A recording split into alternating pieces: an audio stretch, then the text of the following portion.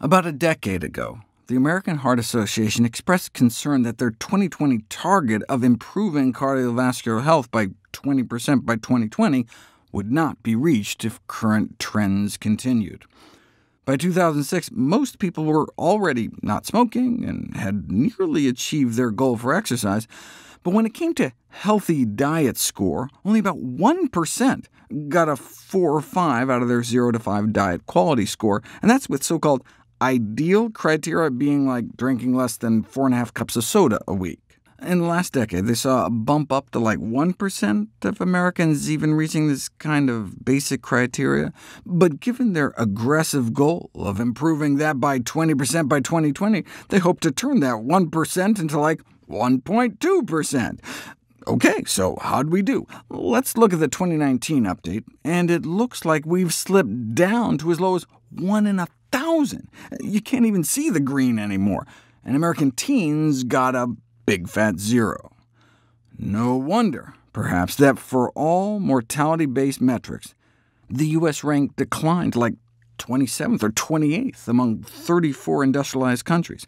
Citizens living in countries with a substantially lower GDP and health expenditures per capita have lower mortality rates than those in the United States. Slovenia beat us by three countries, coming in at 24th in life expectancy to our 27th. And more recently, we seem to have slipped to 43rd, even though we spent trillions on healthcare more than anyone else. What's the leading risk factor for death in the United States? What we eat. The standard American diet is just to die for, literally. Those trillions in healthcare spending aren't addressing the root cause. Look at some of these beautiful lung cancer death curves. It took decades to finally turn the corner, uh, but it's so nice to finally see those drops. When are we going to see the same with diet? Approximately 80% of chronic disease and premature death could be prevented by not smoking, being physically active, and adhering to a healthful dietary pattern. Um, but what exactly is meant by a healthy diet? Unfortunately, what we hear about nutrition in the media is often inconsistent and confusing. There's a pressure within today's competitive journalism market for sensationalism. Uh, there may even be a disincentive to prevent the facts in context uh, to sell more magazines. And this paper was written back in 1997, before the lure of clickbait headlines. In fact, about three-quarters of a century ago, it was noted that, unfortunately, the subject of nutrition seems to have a special appeal to the credulous, the social zealot, and, in the commercial field, the unscrupulous, a combination calculated to strike despair in the hearts of the sober objective scientist.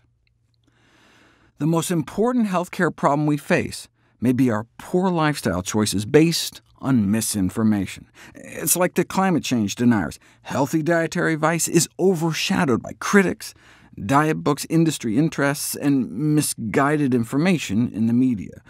Maybe what we need is like an IPCC of nutrition.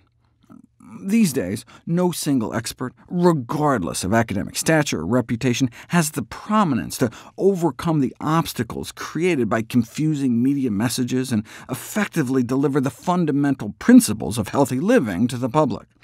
However, what if there was a global coalition consisting of a variety of nutrition experts who collectively represent the views held by the majority of scientists, physicians, and health practitioners? It could serve as a guiding resource of sound nutrition information for improved health and prevention of disease. Boom! The True Health Initiative was conceived for that very purpose. A nonprofit coalition of hundreds of experts from dozens of countries agreeing to a consensus statement on the fundamentals of healthy living. Check out www.truehealthinitiative.org. Spoiler alert, the healthiest diet is one generally comprised mostly of minimally processed plants.